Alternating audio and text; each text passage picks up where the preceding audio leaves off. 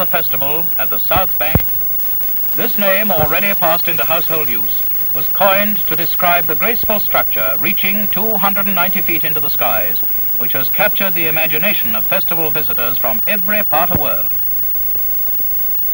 The architectural aim was to provide a simple, dominant, vertical feature soaring upwards in direct contrast to the complex and horizontal character of the exhibition lying beneath it. The Skylon was built by British Insulated Callender's Construction Company Limited to the competition design of architects Powell and Moya, the specification of the consultant, Mr. F.J. Samuely, and under the general supervision of Mr. Ralph Freeman of Freeman, Fox and Partners, the engineering consultants for the festival works. Its manufacture and erection called forth all the resourcefulness and ingenuity of staff well experienced in solving the many problems involved. The order for the Skylon was received in September 1950, and despite the fact that barely six months were left in which to finalize the design, to prepare detailed drawings and to manufacture the parts, the work was completed in time for the official opening of the festival by His Majesty the King on May the 3rd, 1951. Viewed from a distance or from across the river, the feature, shining in the sun by day, illuminated from inside by night, does by its very shape act as a pointer to the exhibition. Dominating the scene, the Skylon stands poised in the proud spirit of the people of Britain. The feature, a tall, thin, pointed body, is suspended 40 feet above exhibition crowds on the large paved area below, a heavier-than-air structure in a cradle of steel cables supported on three legs which contrive to be inconspicuous from the surrounding buildings. A deliberate illusion is therefore created of a graceful and unusual structure divorced from the earth, achieved by the application of simple and practical principles. The site chosen was next to the Dome of Discovery and other exhibition buildings already in course of construction by contractors who were also working against time and the additional handicap of long spells of wet weather which characterized those hectic months.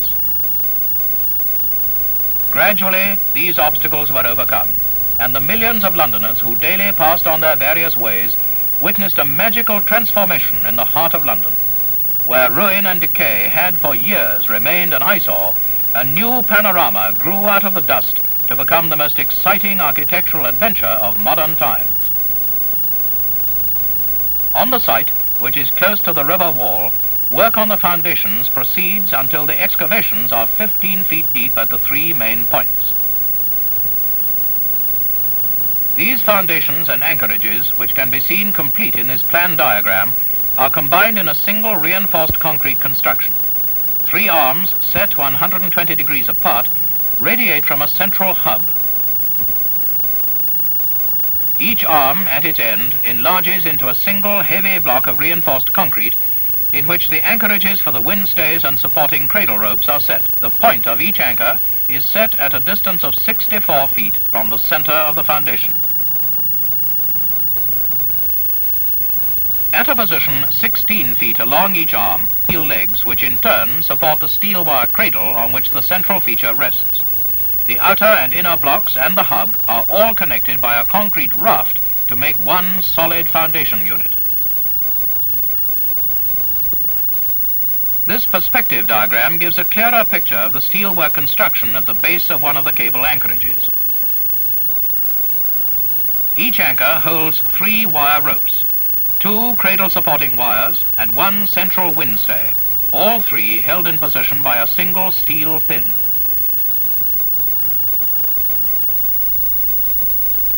The great depth and width of these foundations gives some idea of the size of the steel sections which are to be lowered and bolted into the complete assembly within the foundations.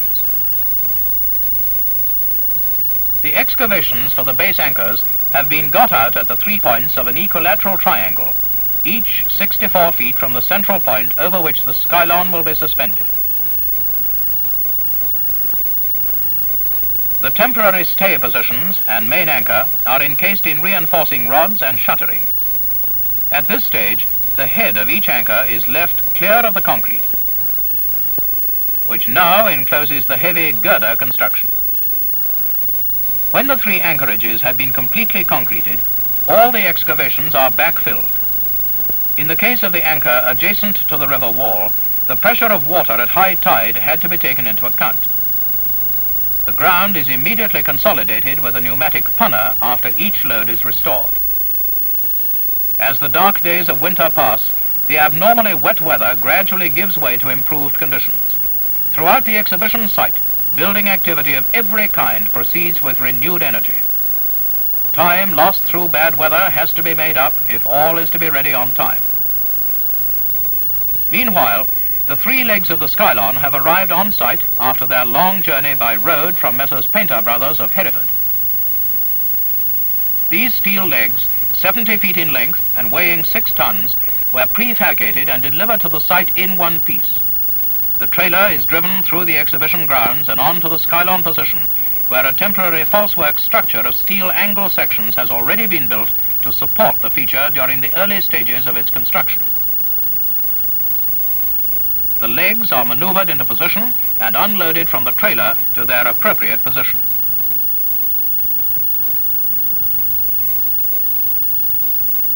By means of two derricks straddling the member at its far end, it is hand winched into its approximate position.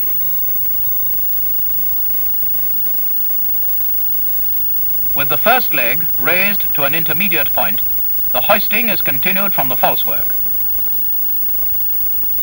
while the leg hinges on its massive pin. When the leg has reached its correct initial position, the derrick tackle is disengaged to enable the operation to be repeated on the remaining legs. All three legs are, for the time being, guyed off to the falsework in an upright position.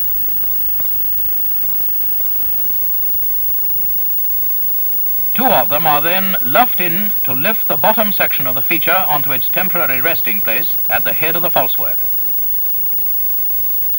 This section, which is 32 feet high, is welded to a steel spider and registered on a 2-inch hardened steel ball providing the three points of attachment for the cradle or supporting cables. Extreme care is taken to ensure that this first section is held truly vertical before further sections are added. With the base in position, the three legs are moved back to their approximate final position to enable further construction to proceed.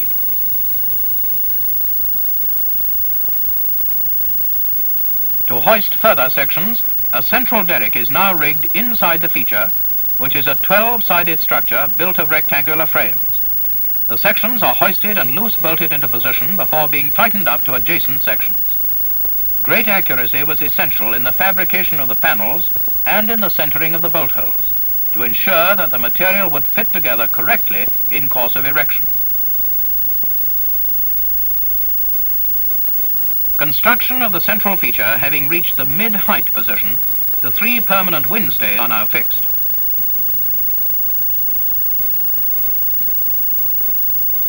They are attached to plates forming part of an internal braced frame made up in three welded sections and bolted together in position. Each stay then passes through the sheave at the top of the corresponding leg to its ground anchorage.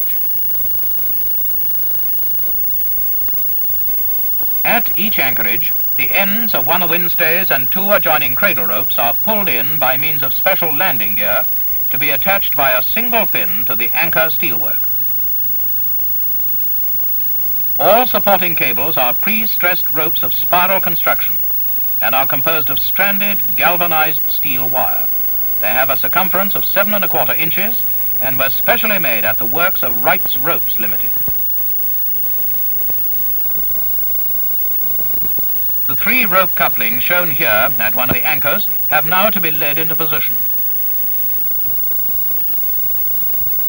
These heavy cast steel couplings are designed to fit over the three plates in the anchors.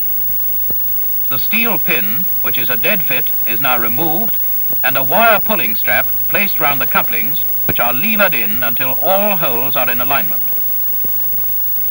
A liberal coating of grease is applied to the anchor pin before insertion, and a final inspection made by an engineer.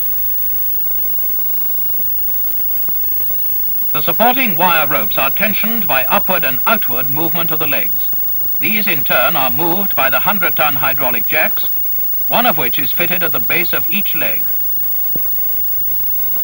Careful measurements are taken along the stays from the spider to the head of each leg before clamping it into position. With the stays correctly braced, the feature is now just clear of the temporary false work.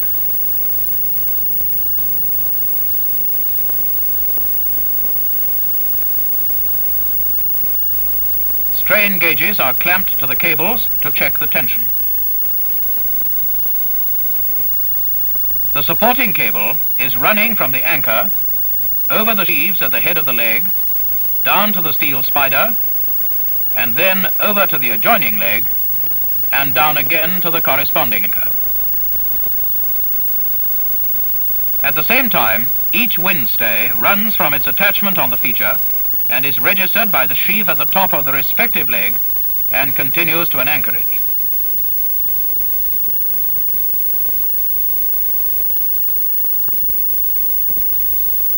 The cables are now taking the strain of the feature and erection of the upper structure proceeds.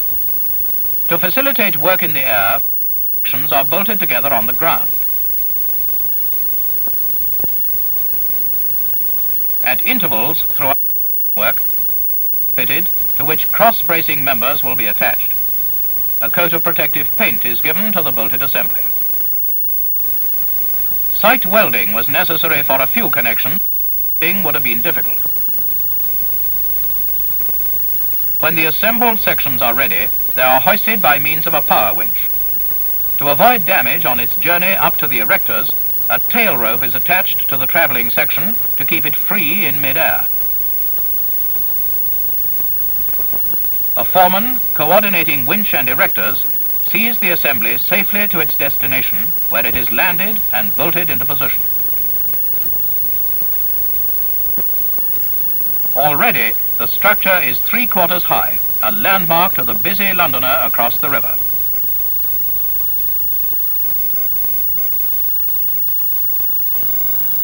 The summit of the Skylon is a 19-foot cone, supplied in one piece.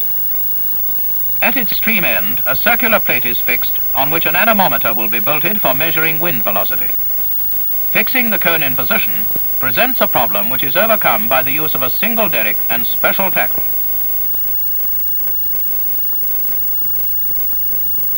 From their lofty point of vantage, the erectors can survey the general activity all around them.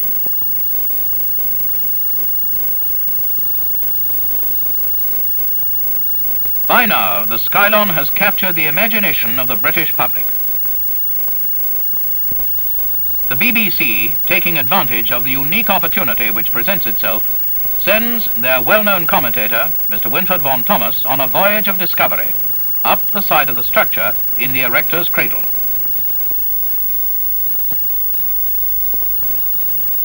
Listeners all over the world are given a first-hand eyewitness account of the progress in construction of this unique example of British engineering. The exhibition workers declare an unofficial holiday and swarm round the recording van to watch the progress of cradle. Under the watchful eye of the winch driver, their journey accomplished, the Skylon's visitors are brought safely to the ground, and work is resumed once more. Inside the central feature is fitted a light spiral cat ladder with landings at suitable intervals. This ladder is installed primarily for use by the engineers in maintaining the lighting system. Through the center of the feature runs a 2-inch bore steel tube which supports the internal lighting fittings. The Skylon is illuminated by 500 lamps varying from 60 watt at the bottom to 200 watts at the top. These lamps with their reflectors are spaced at regular intervals throughout the length of the steel tube. The total power required for lighting is of the order of 30 kilowatts. Light thrown onto the louvers by the internal cone reflectors, thereby illuminating the whole feature at night. These louvered reflectors are prefabricated and delivered to the site ready for fitting to the face of the structure. They are made in six-foot lengths of aluminium sheeting. Sections of louvered cladding are loaded into the cradle and taken up in batches. Approximately 300 of these sections are used to cover the 12-sided surface of the central feature. Accustomed to heights as they are, the steel erectors are faced with a tricky job at the summit of the feature. Nearly 300 feet above the exhibition, the peak is one of the highest points in London.